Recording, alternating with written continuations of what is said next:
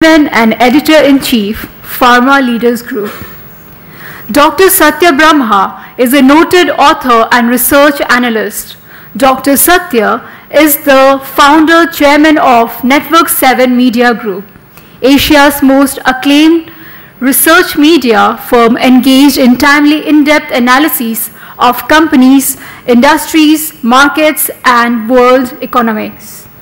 Dr. Satya Brahma is also the author of many top books, including the best-selling Truth versus Hope, Truth versus Hype. Dr. Satya Brahma is the most respected and distinguished media personality and known for championing the cause of citizens' rights and free speech. Dr. Satya Brahma has been at the forefront of United Nations peace programs. Dr. Satya holds a master's degree in political science with first class first gold medalist from Berhampur University, Orissa, and a master's degree in journalism and mass communications. Dr. Satya Brahma has often been seen in the intellectual platform as keynote speaker. Dr. Satya Brahma is an experienced motivational speaker and leader, a visionary with a demonstrated history of working in the non-profit organization management industry. Dr. Satya Brahma is also being considered as one of the top international healthcare experts and has delivered powerful keynote addresses and been a featured speaker at international events. Dr. Brahma, in a career spanning two decades of rich, relevant and varied experience in program management, evidence-based advocacy, knowledge management, development, communication and public policy. As a global leader of repute, Dr. Satya Brahma has been awarded in many top industry bodies and international platforms. Dr. Brahma believes that nothing in this world is impossible if you are in the right side of the reasoning and one must not stop the journey till the last miles are covered. A passionate writer, research scholar, and a fearless journalist, Dr. Brahma has established his credentials as a top-notch industry expert and transformational leader. Dr. Satya Brahma believes that nothing in this world is impossible if you are on the right side of the reasoning and one must not stop the journey till the last miles are covered. A passionate writer, research scholar, fearless journalist, Dr. Brahma has established his credentials as a top-notch industry expert and transformation leader. So ladies and gentlemen, please welcome Dr. Satya Brahma to deliver the welcome address. And, and wait before he comes to the stage, where is Dr. Brahma?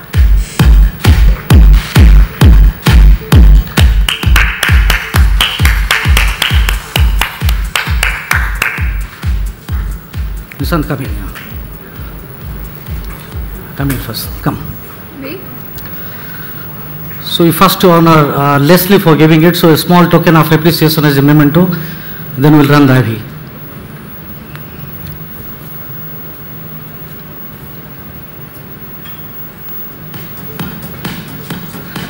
It looks small, but it's big. Very do it. Looks like a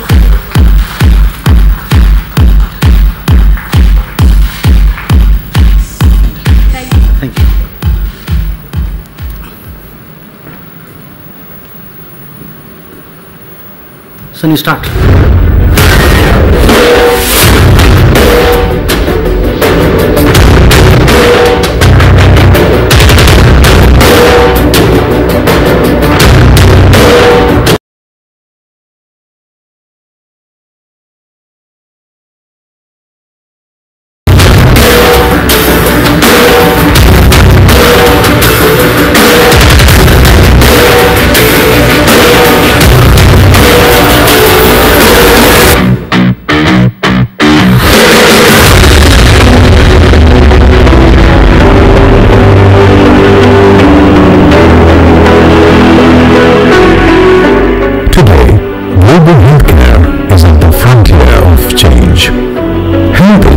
business. Healthcare denied is healthcare denied, and India needs to ensure affordable and accessible healthcare to all at all times. Rather being saving human lives, humanity needs to be saved in India. If every citizen of the country is considerate of this simple rule, all other panels of the healthcare ecosystem in India shall slowly but surely be solved.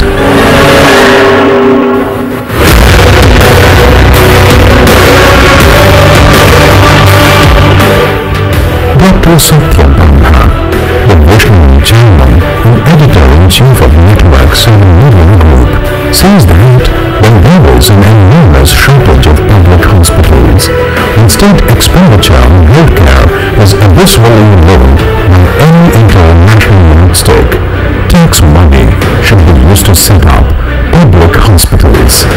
That's what we must do. Government of the day should make note of it.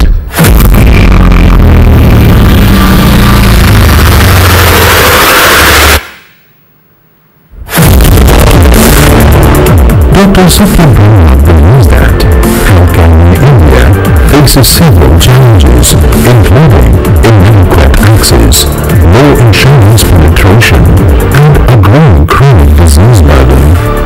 India will need to invest in resilient information infrastructure.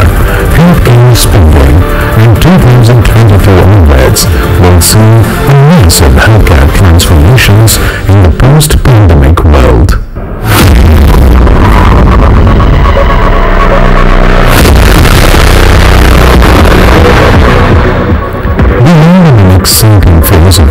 History and India has come a long way.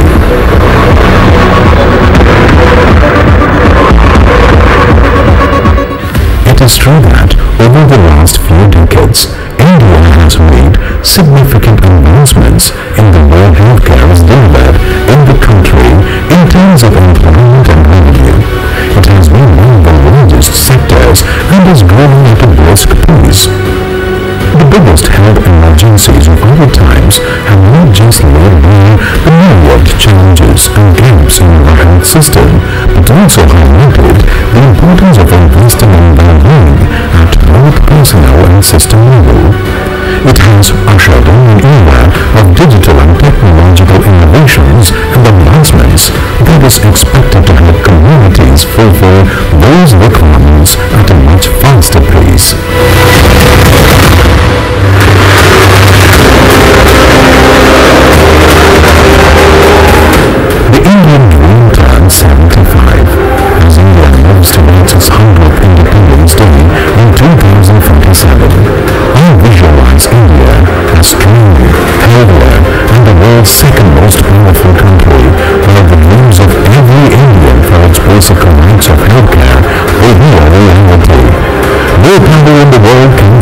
Us. We are strong. We are reformers and we translate visions into reality. Over the last 75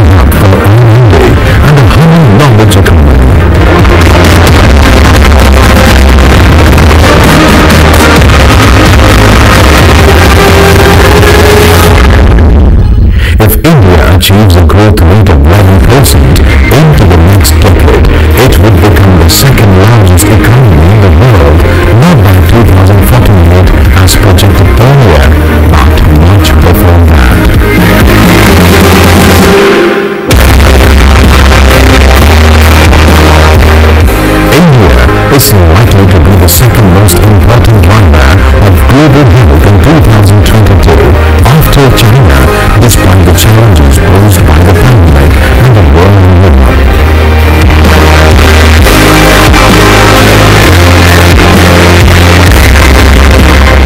The world's third largest economy in terms of purchasing power parity is going to contribute about 15% of global growth this year, even while the country faces the risk of rising deficit due to higher import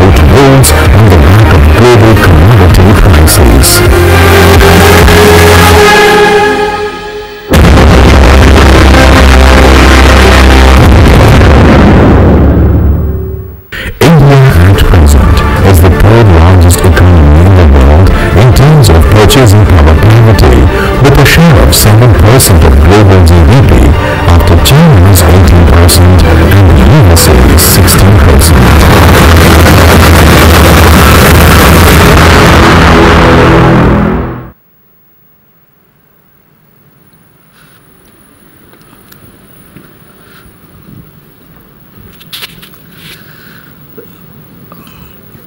A very good morning, ladies and gentlemen, and uh, the captains of the industry, the healthcare leaders.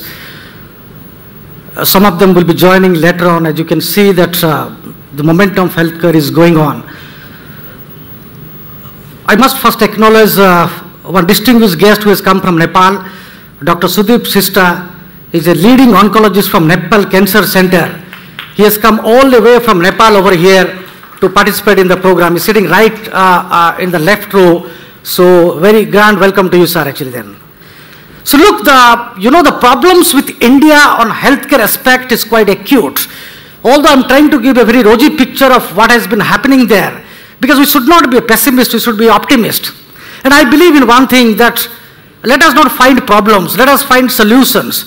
So many people will come and ask for problems, they will not tell the solution. So who are going to give the solution? It is us only. We will have to put pressure and try to get the things organized. And the way we do it, we must also approach a coherent and a strategic approach to deal with those problems, which will actually lead to the practical solutions which is ahead of us. Now, often there are smaller issues which are lost in the actually headlines. So many people who turn on the paper on the, or the TV sets, they find out the headlines making all this, but we never try to go deep into that one. So I am here to find out what are those contents that make the headlines. It is not the headlines which is going into the content. So the contents and the kind of approach that we make will actually make the headlines. I'm sorry to state that most of the media channel and uh, many of my colleagues in the industry do find sensational news and try to give a different picture. And these pictures are not very true actually often because they're often biased and they're not independent. And if we get lost on those news and those actually news which do not carry any weightage, then we would not be able to find out the real issues which are we are facing actually. The real issues are about a patient-centric approach. There is real issues are about affordability. The real issues about making healthcare accessible to the rural India. 73.4% of Indian population live in villages actually. We have been talking a lot about doing activities and making them actually aware of the programs, but still it is not getting through. The doctor-patient ratio as we talk now is 1 into 1,540. This means in every 1,600 uh, uh, doctors, uh, patients, uh, there is going to be one doctor. So this needs to stop. And I must compliment the government, the Narendra Modi's government, what has done it, that they are giving a lot of importance on this aspect.